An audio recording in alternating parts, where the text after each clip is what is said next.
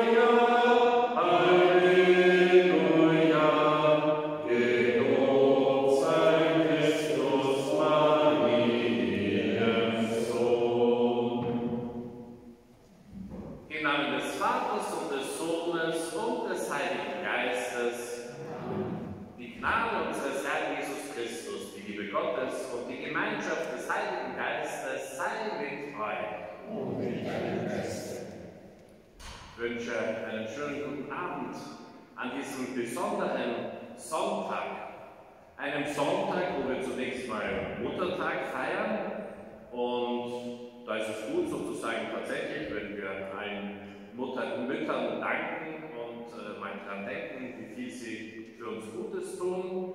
Und das gilt dann natürlich auch für die Omas und die Uromas. Und äh, denke, da sind wir also gut, gut eingeladen, sozusagen in dieser Woche an sie zu denken und vielleicht die anderen äh, 51 Sonntage auch. Aber dieser Sonntag ist besonders dem gewidmet. Und natürlich ist auch dieser Sonntag schon das sechste Mal, dass wir den Sonntag als den Ostertag feiern. Sechster Sonntag der Osterzeit. Diese besondere Betonung, wie lange Jesus eben auch bei den Menschen als Auferstandener war und nur damit auch wirklich alle seine gute Botschaft hören. Und er wird auch, so wird er uns sagen, danach nicht weg sein, sondern er ist gegenwärtig durch seinen Heiligen Geist. Darum wird es heute ganz besonders gehen und wir werden hoffentlich alle gemeinsam diesen Heiligen Geist heute spüren, auch gemeinsam mit denen, die über das Internet mit uns feiern. Und ganz besonders freue ich mich über zwei, die heute als äh, frisch gebackene Erstkommunionkinder auch mit uns feiern, als Ministranten das erste Mal. Die Simone und die. Und das finde ich ganz großartig, dass wir auf diese Weise auch wieder so besondere Helfer am Altar haben, die es erst möglich machen, dass wir wirklich gut feiern können und dass wirklich Jesus ganz besonders bei uns gegenwärtig wird. Also viel Freude, die wir haben dürfen. Und natürlich freuen wir uns auch schon darauf, dass die Firmlinge bald gefirmt werden. Wir haben heute alle die Möglichkeit wahrgenommen, ein Beichtgespräch zu führen. Also alles zurückzulassen, was vielleicht nicht gut war im bisherigen Leben, damit man so frei in die Zukunft gehen kann. Das tut uns allen gut, öfters mal Gott zu sagen, auch was nicht gut war. Und wir wollen dem Herrn für unsere Fehler verzeihen. Herr Jesus Christus, du bist auferstanden und zu uns Menschen gekommen. Herr, erbarme dich unser. Du bist in den Himmel aufgefahren. Christus, erbarme dich unser. Christus, erbarme dich unser. Du bist bei uns im Heiligen Geist gegenwärtig. Herr, erbarme dich unser. Herr, erbarme dich unser. Herr, erbarme sich unserer Liebe von uns Sünde und Schuld und führe uns zum ewigen Leben. Amen. wollen wir gemeinsam Gott loben. Ehre sei Gott in der Höhe. Mit der Nummer 716. Gott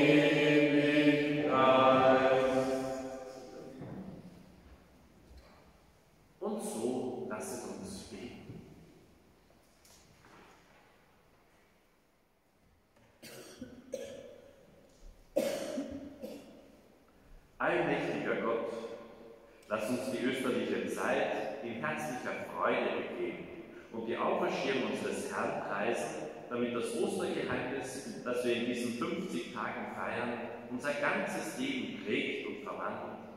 Darum bitten wir durch Jesus Christus, deinen Sohn, unseren Herrn und Gott, der in der Einheit des Heiligen Geistes mit dir lebt und herrscht in alle Ewigkeit.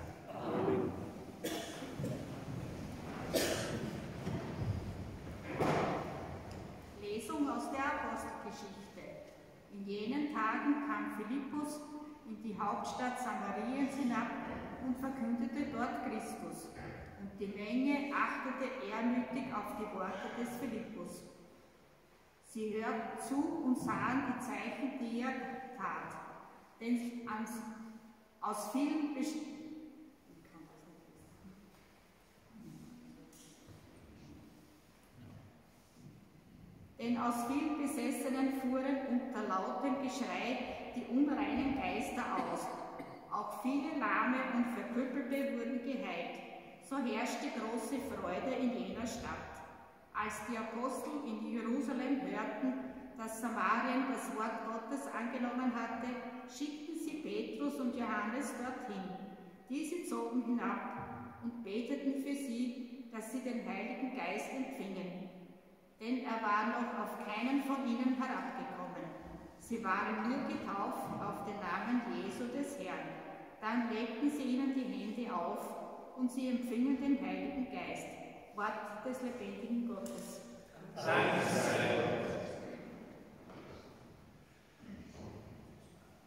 Singt dem Herrn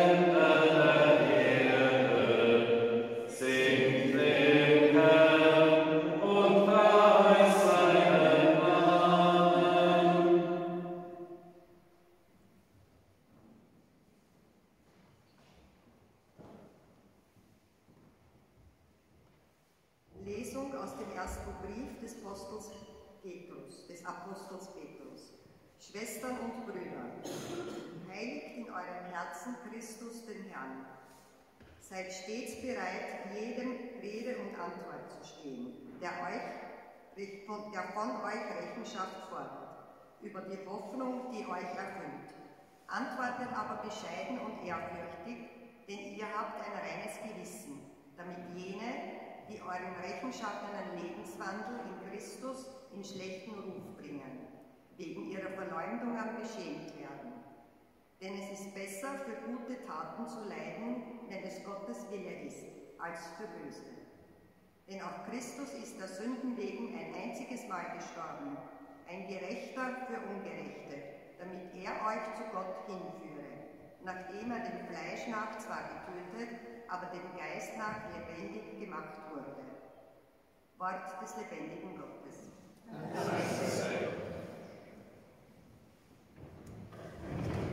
Halleluja.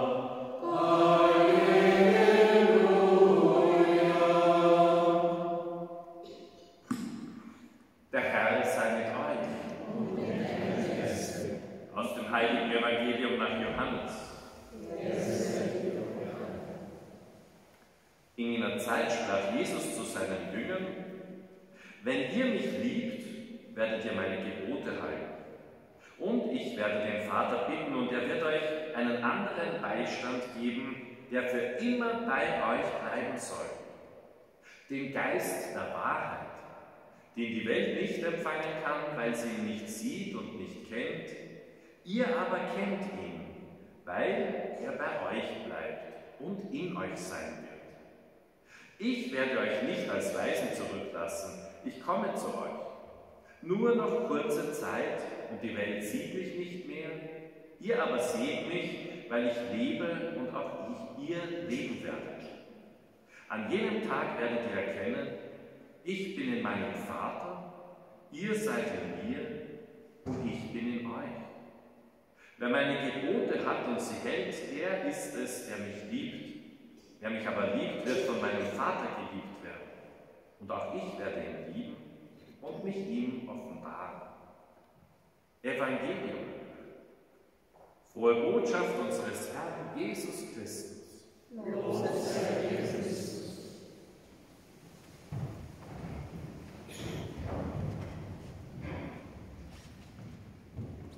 Gemeinde, Schwestern und Brüder im Herrn.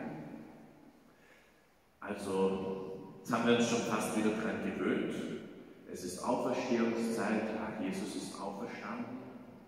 Und das kennt man irgendwie aus dem Leben auch, wenn es gerade gut geht, ach, dann gewöhnt man sich gerne dran.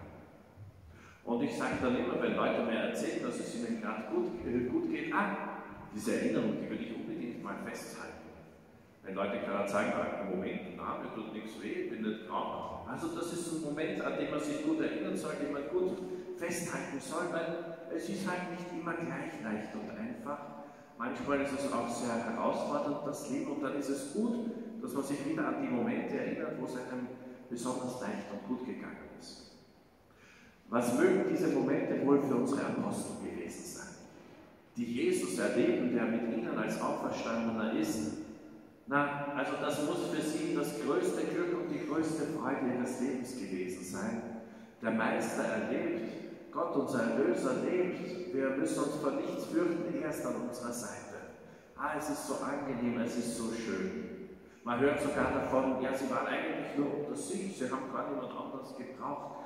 Sie und der Herr, das war einfach einzigartig schön.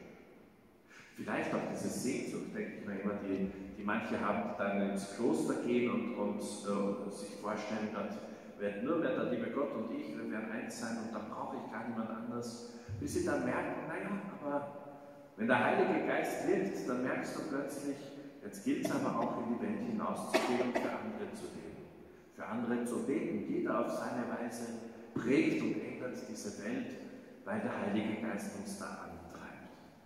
Und von dem erzählt heute Jesus schon, von diesem besonderen Geist, weil er sagt, haltet nur gut die Erinnerung an den Moment jetzt fest, aber es werden andere Zeiten kommen. Er kündigt schon an, dass er, das werden wir ja äh, am Donnerstag feiern, dass er in den Himmel auffahren wird. Dass er also ja, ganz zum Vater heimgeht.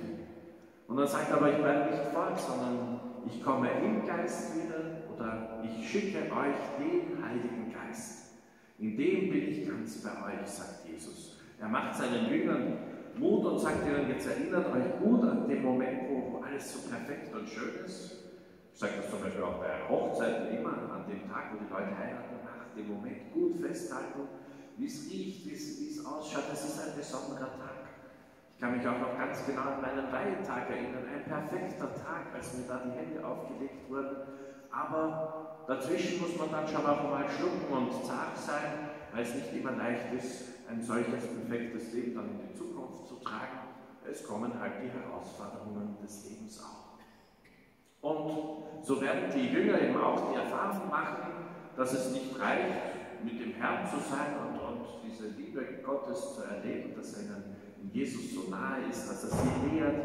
Nein, sie werden merken, dass Jesus ihnen sagt, und wenn ich dann nicht mehr äh, bei euch bin, sondern in den Himmel gefahren bin, dann bekommt ihr den Heiligen Geist. In dem bin ich bei euch. Und was wird dieser Heilige Geist bewirken? So werden wir hören. Naja, bewirkt, dass mir erst richtig die Augen aufgehen, dass ich erst richtig die Wahrheit der Welt verstehen kann und weitererzählen kann. Jene Wahrheit, von der wir heute in der Apostelgeschichte auch gehört haben. Da immer mehr Gemeinden immer weiter weg von Jerusalem, überall wird dieses Wort Gottes verkündet und angenommen. Und dann sagen sie, naja, aber irgendwas scheint noch zu fehlen. Ah, der Heilige Geist. Und so haben sie dann eben Jünger ausgeschickt, die eben die Hände aufgelegt haben und diesen Heiligen Geist auch allen zugesagt haben. Der Moment der Firmung, den wir auch zu Pfingsten werden feiern dürfen, mit einem Bischof, der zu uns kommt und den Firmlingen die Hände auflegt, der sie salbt und ihnen zusagt, dass sie durch den Heiligen Geist gestärkt sind. Ein Geist, der uns schon bei der Taufe zugesagt wurde, aber so richtig wirksam wird er eben mit der Firmung, mit dem Großwerden, kirchlich erwachsen werden. Und es bedeutet eben auch, dass jeder Mensch, der diesen Heiligen Geist spürt und der, der wohnt uns allen schon wenn du den gut spürst, dann spürt er auch, das ist der Geist, der so in die Welt hinaus drängt. Und er sagt, geh hinaus und zeig auch anderen, dass es gut ist, Christ zu sein. Tausch dich mit den anderen aus, dass es gut ist, Christ zu sein. Und wie es einem da geht, erzähl denen, die es hören wollen zumindest, vielleicht auch einfach durch die Art, wie du lebst, erzähl den anderen auch, dass es gut ist und schön ist und glücklich macht, als Christ zu leben dass da eine gute Ordnung ist, die bis ins himmlische Jerusalem, bis ins ewige Leben reicht. Also die kein Ende hat, sondern eine, eine immerwährende Hoffnung. Dass da Stärkung drinsteckt, die einen für das ganze Leben stark macht, dass man die größten Herausforderungen auch meistern kann. Das steckt in dieser besonderen Botschaft. Und wenn es heißt, dieser Geist hat den Aposteln und den Jüngern Mut gemacht, in die Welt hinauszugehen und allen Menschen das Evangelium zu bringen, bis zu uns hier nach Kirchschlag. Ja, dann gibt er jedem von uns auch in die Hand, eben auch so nach außen zu gehen und eben auch die Augen offen zu haben. Wo braucht mich jemand? Wo, wo braucht jemand ein offenes Ohr, ein gutes Wort? Und deswegen ist dieser Sonntag auch ein ganz besonderer, weil wir an diesem Sonntag quasi das Plauderbankerl vor der Kirche segnen und in Betrieb nehmen werden. Manche haben vielleicht schon den Fahrbrief davon gelesen. Also die Idee gefällt mir so besonders gut, einfach zu sagen, also da gibt es ein Bankerl, es liegt wunderbar sonnig mitten im Ort bei der Kirche. Es kommen immer wieder Leute vorbei. Und es soll ein Ort sein, wo man dort sitzt, dass man miteinander ins Gespräch kommen kann. Und das, wenn ich das Gefühl habe, irgendwie, also heute finde ich, ist die Wohnung ein bisschen leer, heute irgendwie braucht die mehr, mehr Anspruch, heute hätte ich gerne mit dem anderen ins Gespräch kommen, dass man hierher kommt. Das ist so die Idee. Das ist eine Aktion der Caritas, die sogar sagt, ja, wenn du hierher kommst und du sitzt da allein und es ist gerade keiner da, dann bist du trotzdem nicht allein, weil Gott sei Dank fast alle heute haben schon ein Handy mit und dann ist da eine, eine Handynummer drauf gedruckt, wenn man dort abruft, ist auch jemand da, mit dem man plaudern kann. Dieses Bankerl bringt also die Leute miteinander in Begegnung. Und es ist durchaus eine gute Idee, auch wenn man sich denkt, also vielleicht soll ich für jemanden da sein, dem ich mein Ohr leihe, jemandem mal seine Sorgen und, und, und äh, Freuden eben teile, zuhöre, dass ich mich da hersetze auf das Plauderbank. Also ich hoffe, das gelingt öfters und denke sicher, der Kaplan und ich auch öfters einmal da sitzen, um einfach ja, ins Gespräch zu kommen. Das tut uns gut. Und es tut uns gut, über das alltägliche Sorgen und Freuden ins Gespräch zu kommen. Also gestern haben wir festgestellt, wir reden auch schon dauernd über irgendwelche Krankheiten mit den anderen. Also nicht, das kommt manchmal vielleicht in manchen Abschnitten des Lebens. Also Lobbasis ist auch mal über Freuden und den Glauben ins Gespräch zu kommen. Was man für Freude hat, dass man gemeinsam Christ sein darf in so einer schönen Gegend, dass man sich freut, dass der liebe Gott wieder die Welt gut gießt, dass wieder alles gut wachsen kann. Also ich denke mal, da gibt es viel, über das man ins Gespräch kommen kann. Und ich wünsche uns, dass auf diese Weise eben der Heilige Geist sich bei uns im Kirchstag noch weiter ausbreiten und dass wir spüren, wir alle sind gute Gemeinschaft auf dem Weg in den Himmel. Amen.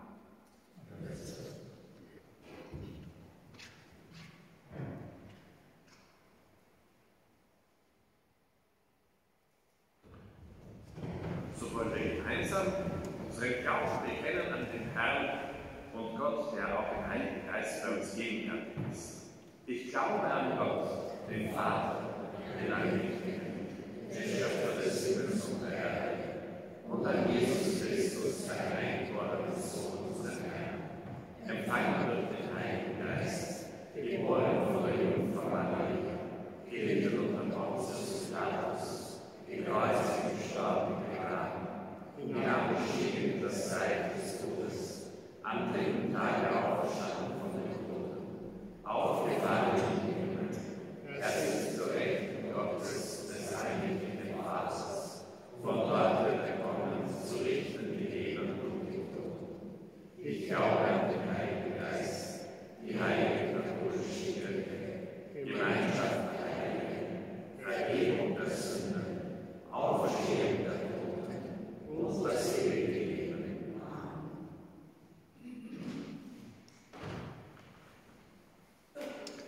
Zu Christus, der uns liebt, tragen wir voll Vertrauen unsere Bitten für alle, die sich von dir abgewandt haben.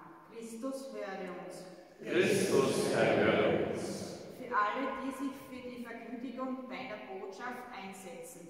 Christus, höre uns. Christus, erhöre uns. Für alle, die sich nach Liebe und Geborgenheit sehnen. Christus, höre uns. Christus, höre uns. Für alle, die in dieser Welt schweres Leid zu tragen haben. Christus, höre uns. Christus, höre uns. Für alle Verstorbenen, bereits bei dir Frieden gefunden haben und ihr all ihre Angehörigen, die um sie trauern. Christus, höre uns. Christus, höre uns. Wir beten für die Verstorbenen Maria Vollhofer und Katharina Buchecker, deren Begräbnis wir diese Woche gefeiert haben. Herr, nimm sie auf in dein Reich des Lichtes und des Friedens. Christus, höre uns. Christus, höre uns. Herr, du kennst unsere Herzen und unsere Anliegen, die wir noch in, die wir noch in ihnen tragen, im Inneren tragen. Wir danken dir, dass du unsere Gebete erhörst und preisen dich alle Tage unseres Lebens bis ins ewige Leben. Amen.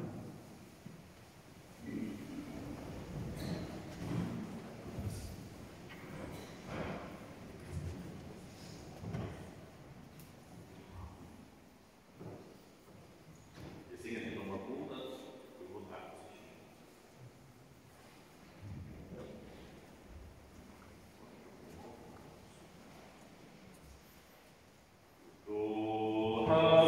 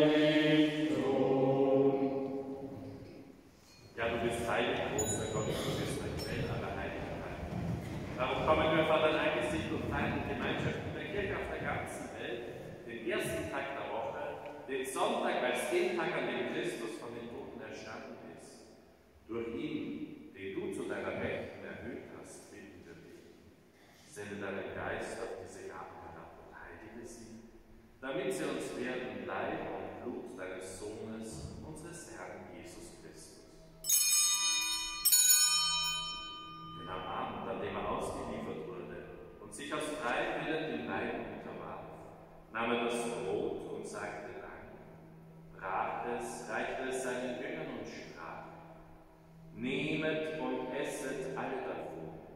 Das ist mein Leib, der für euch hingegeben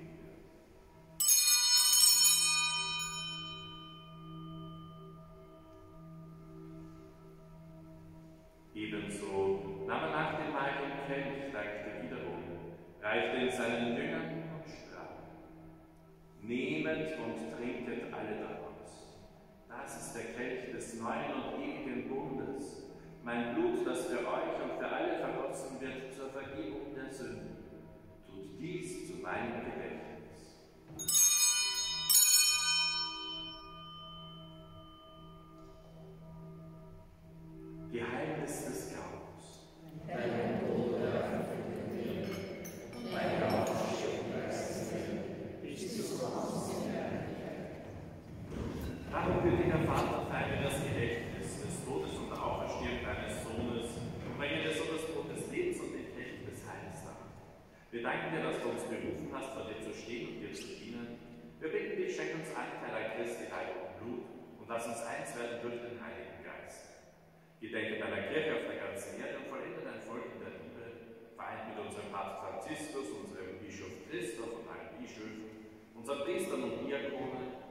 Heiligen, die zum Dienst und der Kirche bestellt sind.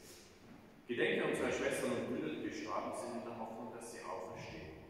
Nimm sie und alle, die deiner Gnade aus dieser Welt geschieden sind, in dein Reich auf, wo sie dich schauen, von einem Gesicht zu Angesicht. Vater, erbarme dich über uns alle, damit uns das ewige Leben zuteil wird, in der Gemeinschaft mit der seligen Jungfrau Gottes Mutter Maria, mit ihrem Bräutigam, dem heiligen Josef, mit deinen Aposteln, mit allen, die bei dir Gnade gefunden haben, von Anbeginn der Welt, dass wir dich loben und preisen durch deinen Sohn Jesus Christus. Durch ihn und mit dem und in ihm ist dir Gott eine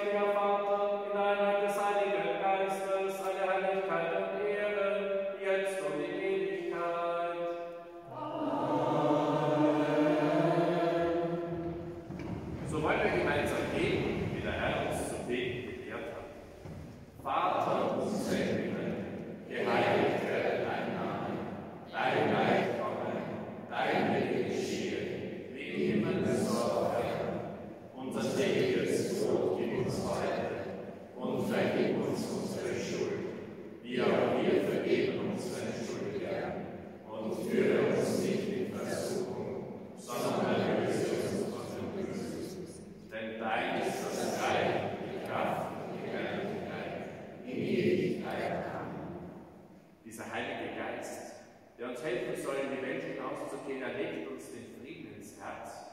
Und wenn wir diesen Frieden bewahren und mit den anderen teilen, dann sind wir auf einem guten Weg. Dieser Frieden des Herrn er sei alle Zeit mit euch. Und mit deinem Geist. Gib mir dann eine Zeit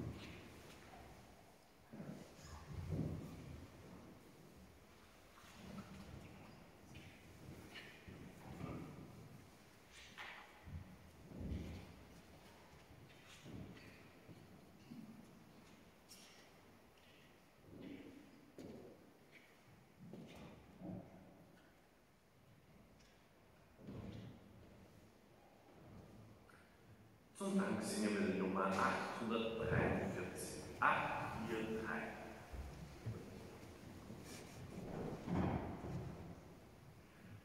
Come on.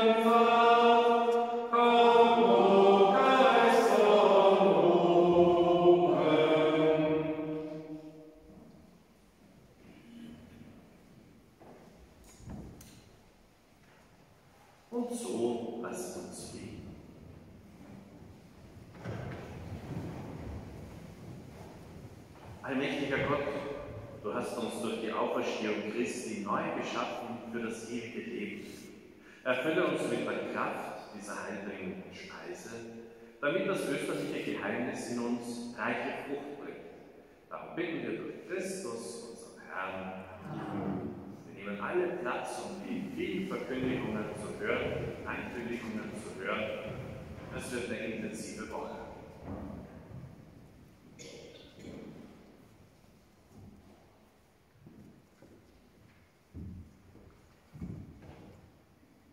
Sonntag, sechster Sonntag der Osterzeit, Muttertag. Sammlung für Schwangere und Mütter in Not. 7.30 Uhr Heilige Messe. 9 Uhr Tauferneuerung der Firmlinge. 12 Uhr Taufe von Antonia Holzbauer. 18.30 Uhr Maiandacht bei Familie Vollenhofer, Rocklerkapelle. Am Montag Bittprozession in Stein. 18.30 Uhr Treffpunkt in der Kirche in Stein. 19 Uhr Heilige Messe in Stein. Am Dienstag Bittprozession in Eigen.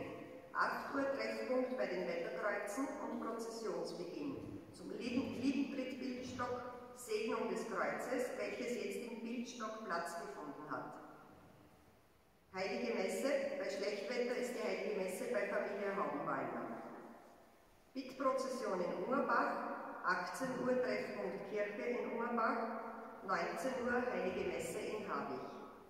Mittwoch Bittprozession nach Limbach, 7.30 Uhr Treffpunkt Pfarrkirche Kirchstadt. 8.30 Uhr Heilige Messe in Limbach. Bittgang in Kirchstadt, 18.30 Uhr Treffpunkt Kahlerstraße. 19 Uhr Heilige Messe in der Pfarrkirche, anschließend Anbetung und Beichtgelegenheit. Donnerstag Christi Himmelfahrt, 7.30 Uhr und 9 Uhr Heilige Messe. 19.30 Uhr Maiandacht bei Familie Reithofer bei Eböck in Urbach 33. Am Freitag ist um 7.30 Uhr Frauenmesse, am Samstag um 11 Uhr Taufe von Noah Zumbo und um 19 Uhr Heilige Messe. Sonntag, 7. Sonntag der Osterzeit, 7.30 Uhr und 9 Uhr Heilige Messe. Pfarrkaffee nach den Gottesdiensten.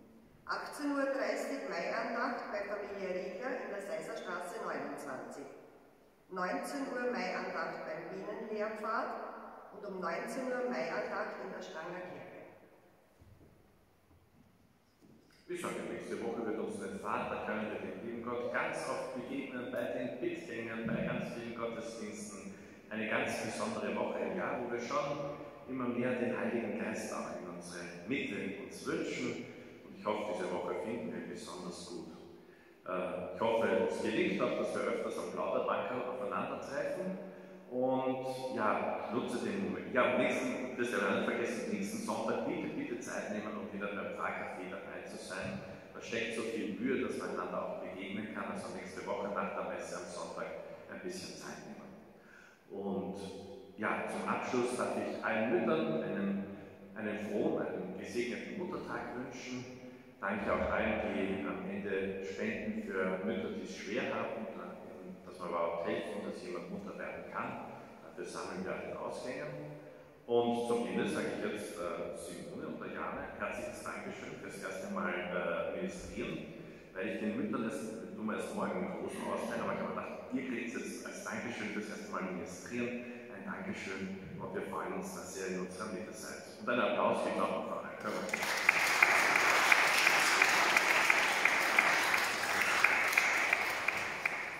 Und so erbitten wir den Segen Gottes. Der Herr sei mit euch. So sehen wir und behüte euch und all eure Kinder der Heilige Gott, der Vater und der Sohn und der Heilige Geist.